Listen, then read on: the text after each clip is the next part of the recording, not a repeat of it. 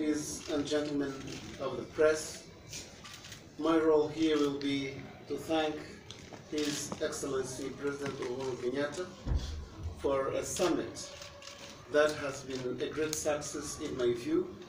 We have organized a summit which has been attended by a very high number of heads of state and government, prime ministers, and ministers.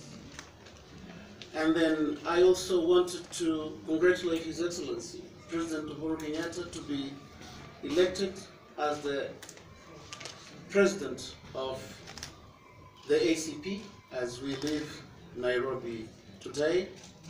And I do believe that uh, we are in good hands as I begin my tenure as uh, Secretary General of the ACP.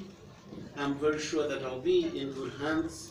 But I also have to thank Dr. Patrick Gomes, whom I believe has left a very big and important heritage for the ACP countries. And I will have to follow his steps to make sure that this organization stands strong. it has a lot of potential. It is big. It is great.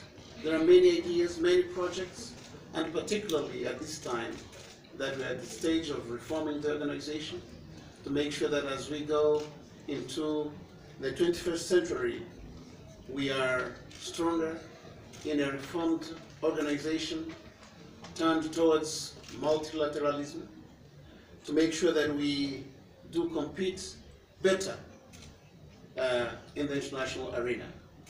I will see to it that our organization stands strong, visible, and better.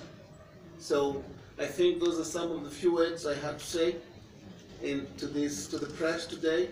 But uh, as we start working uh, early next year, certainly we'll be working more on my own program, which I will pro- propose to the press in the next few months. Thank you very much. Thank you. Thank you very much, George.